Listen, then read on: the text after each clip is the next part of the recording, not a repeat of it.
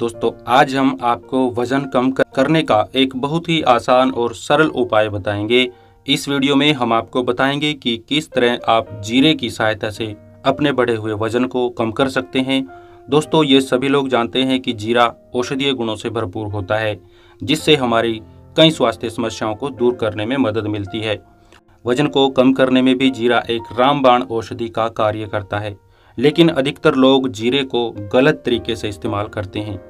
जीरे में कई विटामिन होते हैं, लेकिन इसमें विटामिन ए और विटामिन ई भरपूर मात्रा में पाया जाता है, जिसमें विटामिन ई की मात्रा सबसे ज़्यादा होती है, जो हमारी त्वचा के लिए भी बहुत ही लाभकारी होता है।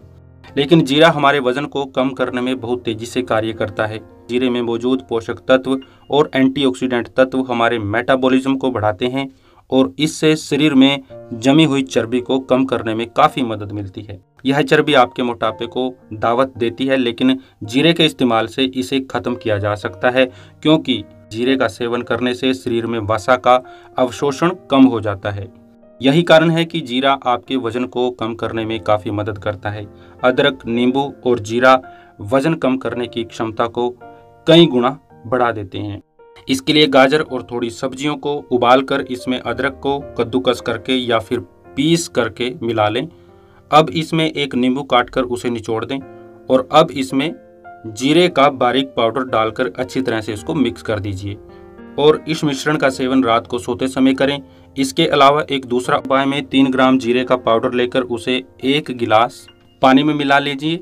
इसमें कुछ बूंदें शहद की मिलाकर इसका सेवन करने से ये वज़न को तेज़ी से कम करने में काफ़ी मदद करता है। एक और उपाय में पाँच ग्राम ताज़ा दही में एक चम्मच भुना हुआ जीरा डाल लें और इसका हर रोज सेवन करें, इससे भी आपको वज़न कम करने में काफ़ी मदद मिलती है।